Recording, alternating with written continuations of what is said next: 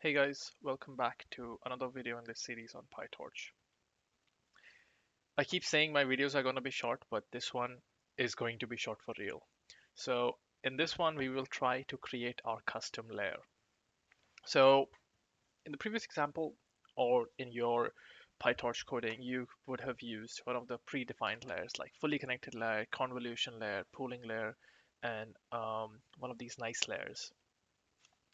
Although uh, torch.nn has pretty much any layer that you would want to use. So um, unless you are doing research or you're trying something very exotic, you wouldn't ever need to create a custom layer. But um, let's say, yes, you encounter a situation where you have to create a custom layer. So that's what I'll talk about. So if I look at these layers, um, uh, if I, so this is the torch.nn documentation. If I go to convolution layers, you see there are like all sorts of, you know, 1D, 2D, 3D, transpose, and all sorts of things. So um, PyTorch has done a good job, and for that matter, even TensorFlow, for capturing all the most used layers and even some exotic ones as well. So enough about this. How do I create my own layer? The short answer is there is no special way of creating a new layer. So PyTorch doesn't have a layer class. All it has is the nn.module class from which you subclass your modules from. So the layers are also children of nn.module. So the layers are also nn.module objects. So they're not anything different.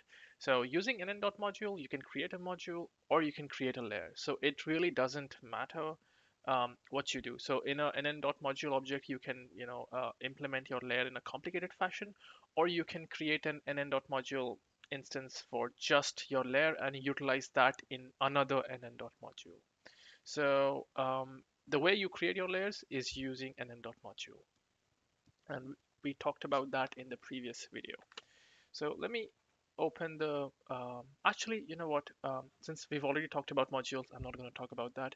I will show you that the layers that are implemented in PyTorch are actually um, objects created from an nn.module. So let's um, let's look at something uh, simple like the ReLU and those kind of layers. So when I go to, okay, so let's look at, let's say I go to ReLU. So this is the documentation of ReLU, which is which does max of 0, comma x. And now when I click on the source, so this opens the source code for this. Um, basically, uh, all the activations are stored in this file. And let me now search for ReLU. Okay, great. So here is my ReLU class. And look, its parent is again module, which is nn.module. So, um, and for nn.module, all you need is to define a constructor, the init dunder dunder init constructor, and then a forward method. So this forward method just um, tells you that uh, basically the action, the forward method method is just the action of my layer. And here this layer is just applying the functional. So the f is nn.functional. So it's just applying ReLU as a function on the input. Uh, in place means apply this operation in place. Don't create a new uh, temporary variable. So um, so that's what that's all it is. So nn. So you create layers by subclassing from nn.module. You define the constructor and then you define the forward function. That's pretty much it. So it's pretty straightforward. And and here you can take a look at all the other layers that are present in uh, PyTorch or other activation. So next, I'd like to demonstrate how to create a simple layer, and that's all. So let me um, now pull up VS Code. Um, great, I have it here. Let me just zoom in, zoom in a bit. Okay, great. Okay, so first things first, we begin by importing torch and um, torch and also we import torch.nn as nn. Good. So once that is loaded up, now let's start writing our layer. So I create, so again, everything has to be, everything is an object, so I have to create classes. So I create my layer, which inherits from nn.module. And first I define my constructor. So this will, let's say I want my constructor to take in um, the input size for my layer. So I give it, so input size. And the first thing it should do, basically, it should um, initialize the parent constructor. So that's done. And now I define the size to be size n. Good. So that now that we have taken the size into consideration, now what we will do is we will create, um, okay, so what do I want my layer to do? So in this example, I will write a simple layer.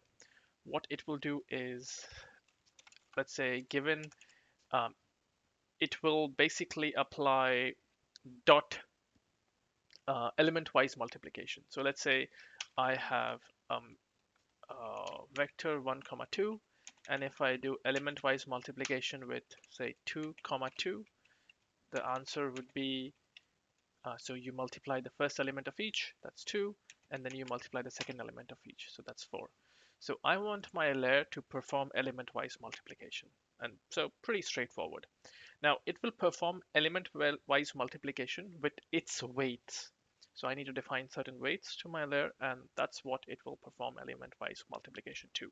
So this will be my input. Input will be element-wise multiplied with the weight and I'll get an output. So that's what um, my uh, thing is going to do. So I define the weight to be, um, let's say, so everything has to be a tensor because we're in PyTorch. And then the dimensions are again uh, the input dimensions. So that's good. Um, all right, so I have defined my weights.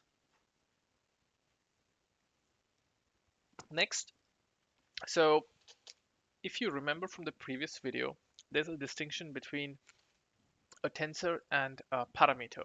So a parameter is a tensor that um, parameters basically wrap around a tensor and that is used as weights in a module.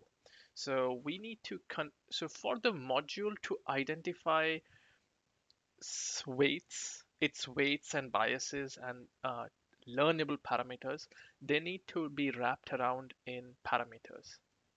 So they need to be converted into torch.parameters. So only then my module will recognize these as uh, learnable objects or having objects having gradient equals true.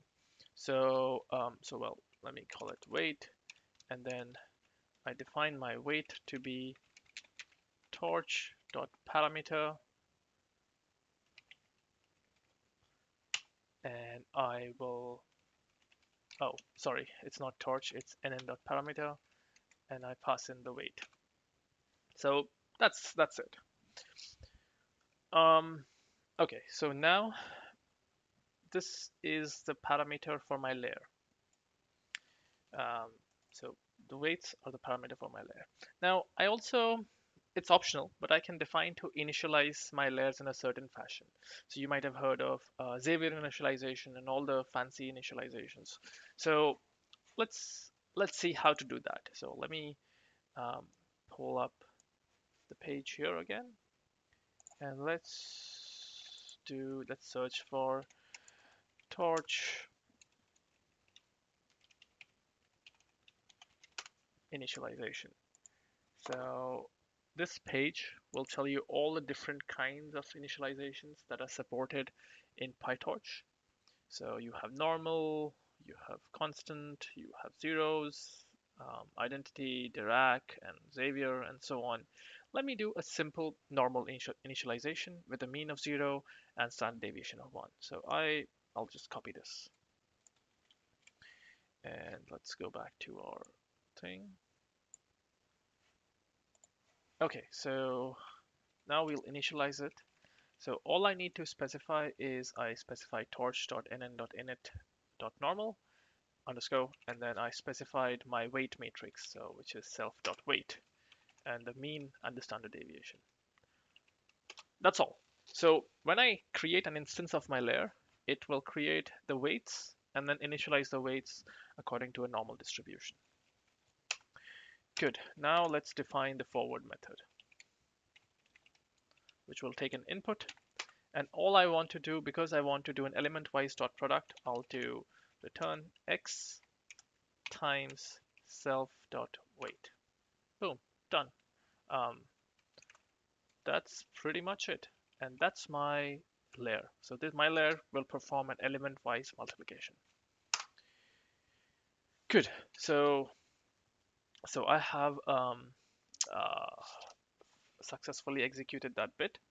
So just to show you that this is my layer is a module and it has all features of a module. Let me create an instance of it. So let me call it a my layer and then let's say give it a size 10 and then when I type press A uh, I get my layer but then I can use let's say if I wanted to probe its weights so I'll do a dot weight and see it um, it gave me the parameter. Had had we not um, made self self dot weights a parameter then we wouldn't get this. So just to show you that let's say if I instead of this if I had just this was just weight and then when I create an instance and I do um, a dot weight um, it's not a parameter anymore. It is just a tensor so it, the grads wouldn't be accumulated. You see here there is no grade requires grad is not equal to true. So I go back here and then I remove this remove that. And now it's a parameter and it has requires grad true. I haven't tried by manually placing required grads to be true for tensor but um, you know, there are 10,000 things to try. So uh, feel free to try it on your own. And again, like I have all the uh, properties and uh, methods of the module that we saw previous in the previous video. So I'm not gonna bother with that. So, okay, so let's say we have, so we have this, we have made a layer. So where can we use it? We can use this layer in another module or we can use it in the sequential API. So I'll, I'll, I'll create a very simple network and show you like how to uh, use these layers. So I create, I'll create a network and just for simplicity, I'll make a sequential one out of it. And I'll, um, so let me, I will first create a layer with 10 with input as 10 and then I will also add in another layer which is ReLU. So pretty simple network, just two layers. One is my layer and then one is ReLU. So when I output it, you see we have two layers. So let's feed in something into it. So uh, let me create a bunch of ones of dimension 1 comma 10 so one is the the first dimension is always the batch dimension. The second dimension is um, the size of my the feature length of my input. I said 10 because um, my layer takes in uh, feature dimension 10 so that's why i said 10 and then now i will um, well let me call it a better name input. And then i'll pass it into my network see. So we got some result and it worked out pretty well because uh, it passed, it did element-wise multiplication and it passed it through ReLU and that's why you see the zeros. So if I change the batch size, let's say two, um, you get two copies of it because I'm giving the same input to both the batches. So this is how you would use. Um, I made a very simple how you would use layers. I made a very simple example of layers, but then sky's the limit. You can make you know complicated attention mechanisms and whatnot. I hope you guys found this video useful. Again, the code for this will be on my GitHub page, and um, you can find the link for it down below. Please like and subscribe the video if you liked it, and uh, feel free to comment below uh, tell me how, how I am doing and is there any specific topic that I should be covering. Alright, that's it for this video. See you guys next time.